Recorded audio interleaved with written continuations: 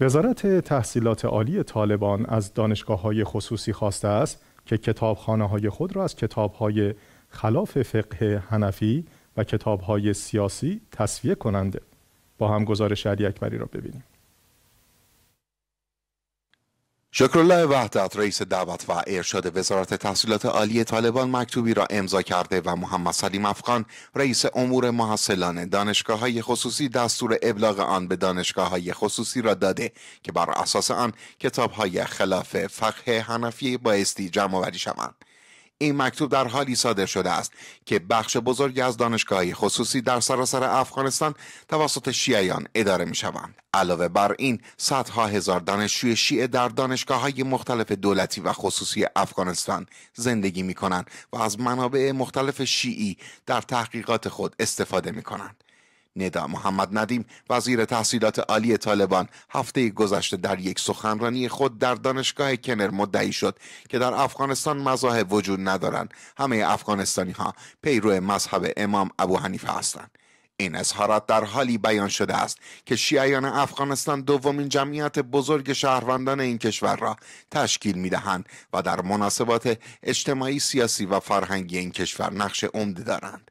علاوه بر این پیروان مذاهب هنبلی، شافعی، مالکی و اسماعیلی و اقلیت های دینی هندو و سیک نیز در افغانستان زندگی می کنند. طالبان در بیش از دو سال گذشته نیز بارها اقدامات محدود کننده علیه آزادی مذهبی شیعیان افغانستان انجام دادند. این گروه تدریس فقه جعفری را در دانشگاه ولایت شیعه نشین بامیان ممنوع کردند و آن را از نصاب درسی دانشگاه های این کشور حذف کردند.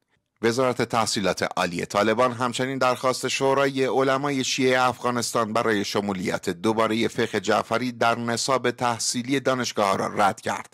علاوه بر این در دهه محرم امسال محدودیت های گسترده و بی سابقه از سوی طالبان بر عزاداری شیعیان وضع شد.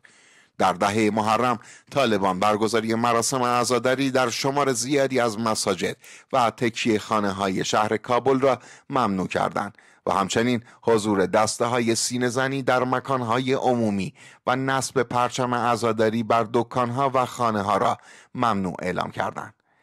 افزون بر این در روز آشورا نیروهای این گروه در موارد مختلف با عزاداران برخورد کردند و منابع محلی گزارش دادند که در استان غزنی بر اثر شلیک نیروهای این گروه دست کم یک نفر از عزاداران شیعه کشته و شماره نیز زخمی شدند اقدامات طالبان علیه آزادی مذهبی شیعیان در افغانستان بارها مورد توجه و محکومیت نهادهای حقوق بشری بین المللی قرار گرفته است. در ماه مرداد سال جاری مجمع آسیایی حقوق بشر و توسعه گفت که طالبان آزادی مذهبی شیعیان هزاره در افغانستان را نقض کردند. شماری از کارشناسان و نهادهای حقوق بشری از اقدامات طالبان علیه مذاهب این کشور ابراز نگرانی کردند و آن را برای آینده جامعه افغانستان خطرناک توصیف کردند. چهره های سیاسی علما و فرهنگیان افغانستان بارها تاکید کردند که این کشور تنها با همزیستی و همگرایی تمام اقوام و پیروان تمام مذاهب می‌تواند به صلح و ثبات دائمی برسد و کسانی که علیه این همزیستی اقدام می کنند دشمنان مردم هستند. علی اکبری اخبار شیعه. مرتزا متحری کارشناس مسائل سیاسی از اسلام آباد با ما همراه هستند. سلام علیکم. آقای متحری چرا طالبان علا رغم تعهدات خود حقوق دیگر اقوام و مذاهب را در افغانستان نادیده می‌گیره؟ بفرمایید.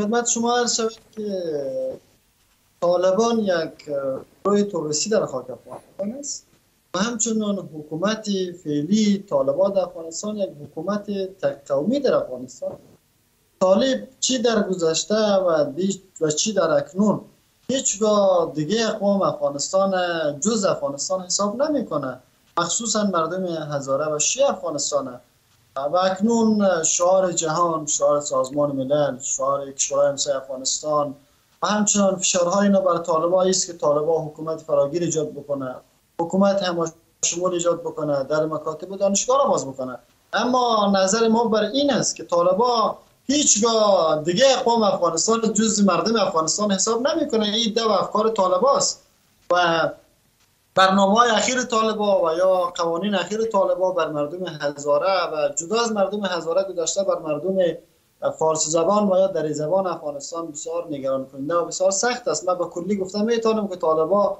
با شرایط فعلی در افغانستان بجز خودشان دیگه هیچ یک از اقوام افغانستان قبول نداره و با اونها هیچ اهمیتی نمیده شیعیان در قبال محدودیت های ایجاد شده چه عکس عملی خواهند داشت؟ اگر اوضاع چنین ادامه پیدا بکنه اگر فشارهای طالبا روز به روز بر مردم هزاره و شیعه افزوده شود مردم هزاره و شیعه افغانستان ناچار به این خواهد شد که یا مبارزه مسلحانه علیه طالبا بکنه و یا همچنان تظاهرات های گسترده رو در برابر طالبا راه اندازی بکنه. سی درصد از نفوس مردم افغانستان هزاره ها و شیعه افغانستان تشکیل میده.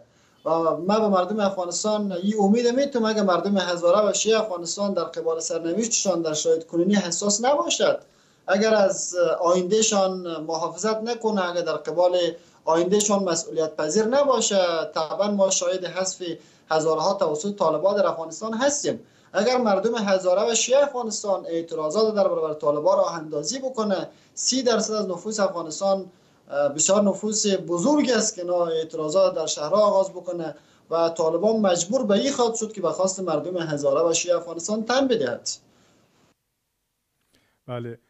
آقای متحری خیلی کوتاه بفرمایید. راهکار اساس برای اساسی برای تمکین نمودن طالبان نسبت به حقوق سایر اقوام و مذاهب به ویژه شیعیان چیه؟ تنها راه حل این است که جهان مخصوصا سازمان ملل نهادهای حقوق بشری کشورهای همسایه افغانستان بر طالبان فشار بیاره که تا حقوق دیگه اقوام افغانستان حفظ بکنه و جدا از اون بر حقوق مردم هزاره و شیعه افغانستان پایبند باشه و حق حقوق مردم هزاره افغانستان برشان بیدهد دیروز پر روز ما شاهد بودیم که وزیر تحصیلات طالبان وزیر تحصیلات عالی طالبان چون متن نشر کردن و یا چون سخنرانی را انجام دادن در صورتی که 50 درصد از متعلمین و محصلین دانشگاه افغانستان هزاره ها و شهاد تشکیل می‌دهد. شرایط کنونی واقعا بسیار سخت است برای مردم هزاره و شیعه افغانستان که فقه جعفری از دانشگاه ها و از مکاتب جمع آوری شود و 50 درصد از دانش آموزا و دانشجوهایی که در دانشگاه افغانستان درس می‌خوانند از فقه جعفری محروم باشه. حتی ما متاسفانه چند روز پیش ما خبرهایی را از رسانه‌های داخلی افغانستان شنیدیم که چون خبرها برای ما تاسف. بار است در ولایت میدان وردک در یک ولسوالی در قریه که 800 خانه در اون قریه زندگی می‌کنه از 800 خانه در ولایت میدان وردک یک نفر با سواد است. یک نفر توانایی خواندن و نوشتن در یک از ولسوالی های مناطق پشتون نشین و یا اهل سنت نشین افغانستان وجود داره. واقعا تاسف بار است به جایی که طالبا قیودات بر مردم هزاره و شیعه افزوده می‌کنه به جای اون تلاش بکنه که مردمشان قومشان پیروی مذهب اهل سنت در افغانستان آگاهی بده اونها رو به مکتب و دانشگاه تشویق و ترویج بکنه.